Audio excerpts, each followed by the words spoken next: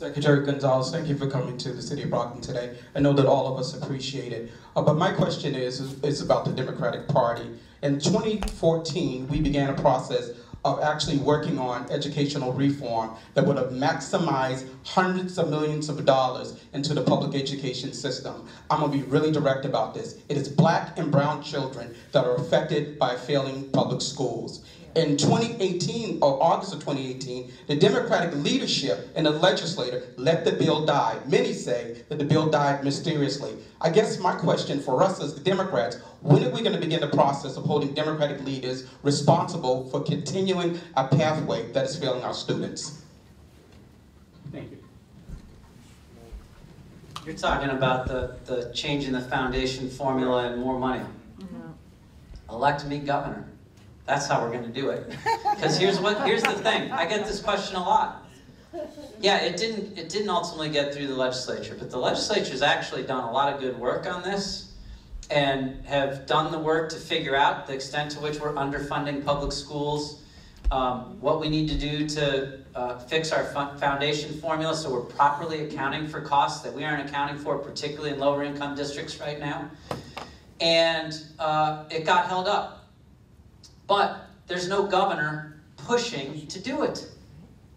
He's actually probably behind the scenes asking for it to not hit his desk. And there's no leadership. And you know what? I have a record of working collaboratively with legislative leadership when I worked for Governor Patrick and with other legislators to get big things done. And I know how the process works. And there needs to be someone pushing. There needs to be, we need to be collaborating. This isn't about legislature, you're terrible. This is about listening, understanding what the different interests are, and figuring out if this is where we're trying to go. What is that path that's going to get us as close to that place as possible?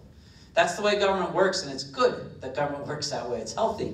But there needs to be some healthy tension and a governor who's pushing. And right now, there's a governor who isn't pushing for anything. Any of the good stuff that's happened is in spite of him, not because of him. And this is among my top priorities. And I have, uh, like I said, a specific plan for how we're going to provide the money. The legislature has done a lot of great work, but even the legislature didn't say how we're going to pay the additional amount that we need to actually fully fund it. So we need the law that requires us to, and we need the money to carry it out. And I'm going to work to make sure we get both of those things done.